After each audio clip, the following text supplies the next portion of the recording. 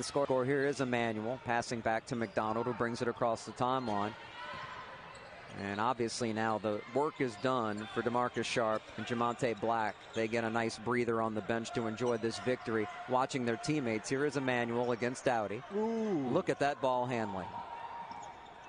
Gets it back on the help D, able to recover to Haney with five to shoot. Emmanuel has it in the corner. He'll launch a three. Get out of town. Oh.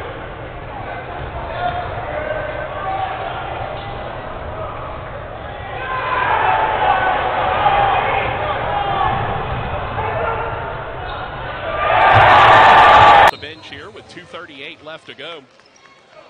We'll have a chat with Corey Gibson right after the ball game finishes here. Zelen Baba brings it into the front court. Emmanuel, he'll drive in, lays it up, and there's the first point. Emmanuel trying to get it to him. The lob for Emmanuel misses the lay-in, but he's fouled. First make